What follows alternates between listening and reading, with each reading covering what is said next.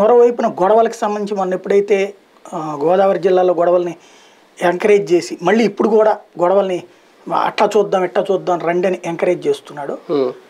ఈయన వల్ల ప్రమాదం ఇప్పుడు సమాజానికి. మళ్ళీ పాత డెబ్బైల నాటి బెదవాడ తయారు చేయాలనుకుంటున్నాడు ఆయన రాష్ట్రంలో.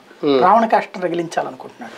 రెడ్ల మీద కోపం కాదు ఆయనకి. జగన్ మీద కోపంతో రెడ్డి బలిజల్ని రెడ్లని బలిజల్ని కొట్టుకోవాలి రెడ్లని కాపుల్ని కొట్టుకోవాలి అన్నటువంటి కాన్సెప్ట్. నేను అనుకుంది ఏంటంటే కమ్మ కాపుల మధ్య ఉన్న విభేదాన్ని పరిష్కరించబోతున్న నాయకుడి కింద అనిపించాడు నాకు. కానీ ఇప్పుడు దాన్ని పరిష్కరించలేక రెడ్డి కాపు గొడవ పెడితే కమ్మ కాపు గొడవ సద్దుమణిగిపోతుంది అనేటువంటి ఒక కొత్త గొడవని సృష్టిస్తున్నాడు. ఇదో ప్రమాదకరమైంది ఆంధ్రప్రదేశ్కి శాపం. రెండవది ఈ పాయింట్. ఏది?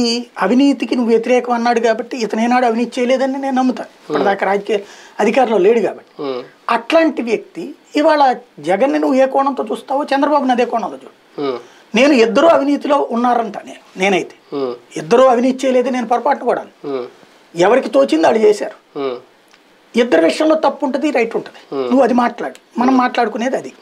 అంతే తప్పించి ఇద్దరు సచ్చీలు అని నేను చెప్పను పొరపాటున కూడా. ఇక్కడ ఈయన ఆ ముక్కంటే జెన్యున్ అవుతాడు కానీ ఈయన జగన్ ఏమో అవినీతి పరుడు అంటున్నాడు చంద్రబాబుకి క్లీన్ చిట్ ఇస్తున్నాడు.